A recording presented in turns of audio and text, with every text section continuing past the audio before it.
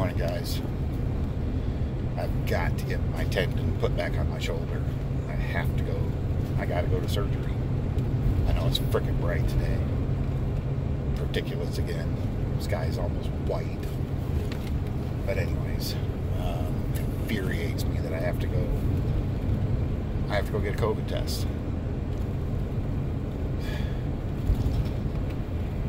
I'm. I know we all know that this is bullshit. To get my surgery. It's infuriating. Once again, board for 2021. I did all those all those appointments yesterday, so I didn't have to do any today, and they fricking booked me two more. Just good. Keeps us keeps us in a paycheck. But it does screw my day up. Oh, I got my mail yesterday, okay? They were supposed to send me a packet with all my surgery information, my COVID, blah blah blah blah. my mail runs at about 3:30. I got my packet in the mail yesterday about five o'clock when I finally made it back to my second address. So I open it up and it says your appointment is for the 18th. Yesterday. Mind you, it's five o'clock. But even if I was home waiting for the mailman about 3:30, they only test from 9 to 3. So because of their incom- incompetence, I missed my freaking I missed my COVID date. Apparently it takes 72 hours to get the results back. And uh, yesterday was the deadline for that date, for that time, for that 72 hours. That was close. Good job, girl. Almost seen a wreck. So, anyways, I hope y'all have a way better day than I'm having. I didn't get hardly any sleep last night. Tossing and turning. Mine wouldn't shut off. Two o'clock in the morning. Oh, Tim was up at two o'clock this morning too. Did finally get back to bed. Then I missed my alarm. Woke up late.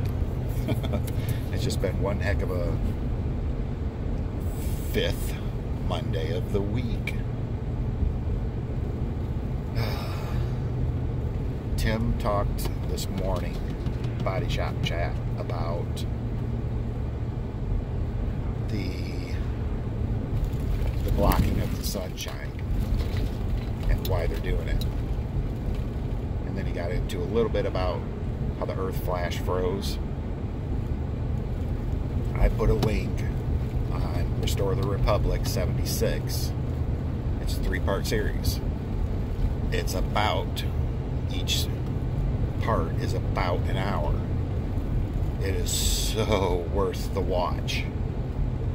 If you want to know about Earth's history and magnetic reversals and solar flares crustal place displacement, it's mind blowing. It's mind blowing.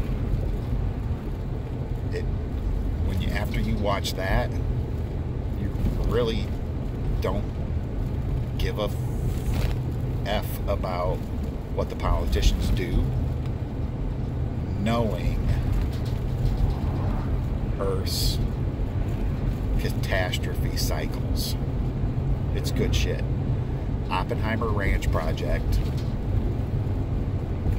did a piece on the Adam and Eve story with Chan Thomas. Now, so did Suspicious Observers. He did a whole piece on it too. The thing about science you have to remember is science is questioning everything. If somebody tells you something, question it. Well, these are the global warming facts. Question it. Anyways, I'm a couple minutes from my COVID test. Once again, I'm gonna I'm gonna wear my panty mask,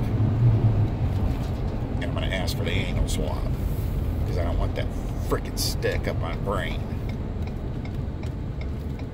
I guess they can do just a small nasal swab. I don't know. But I'm not getting that stick in the back of my nose. I'll tell you that. We'll see if I we'll see if I survive.